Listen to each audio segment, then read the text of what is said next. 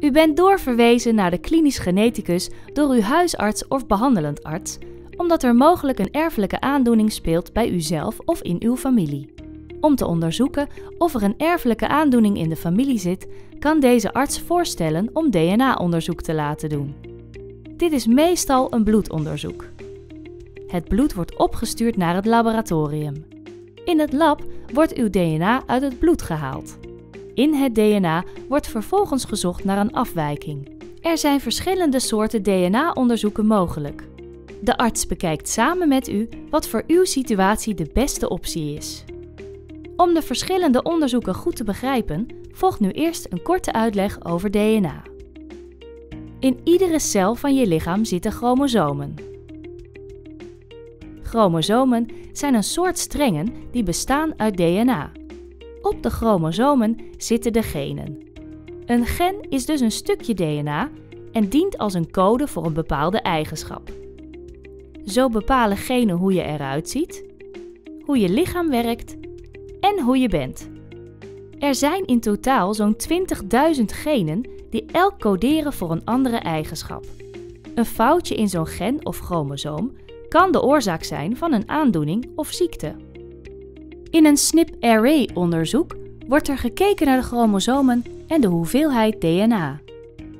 Er kunnen namelijk kleine stukjes DNA van de chromosomen weg of dubbel zijn en dat kan problemen geven. Soms heeft de arts al een idee in welke bekende genen de oorzaak van die aandoening zou kunnen zitten. In dat geval wordt er gericht gezocht naar afwijkingen in een groep van specifieke genen. Dit noemen we een genpakket. Bij een WES-onderzoek, Whole Exome Sequencing, kan naar alle 20.000 genen worden gekeken. Krijgt een kind een WES-onderzoek, dan wordt meestal ook het DNA van de ouders onderzocht. Trio WES. Dit is om de genen van de ouders te kunnen vergelijken met de genen van het kind. Bij WGS, Whole Genome Sequencing, wordt behalve naar de genen ook naar het DNA tussen de genen gekeken. WGS wordt op dit moment vooral gedaan bij wetenschappelijk onderzoek. Als het DNA-onderzoek is afgerond, bespreekt de arts de resultaten met u.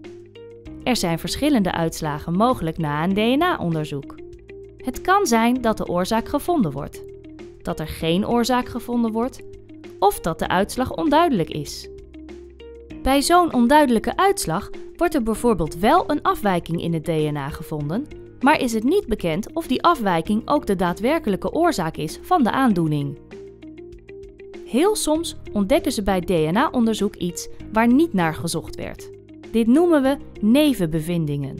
Zo'n nevenbevinding is een DNA-afwijking die niet de oorzaak van de klachten is, maar die wel aanleg voor een andere ziekte aantoont, bijvoorbeeld aanleg voor een hartaandoening of kanker.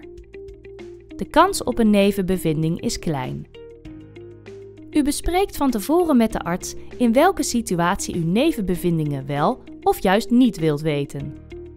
Voor meer informatie kunt u terecht op erfelijkheid.nl of erasmusmc.nl/klinische genetica.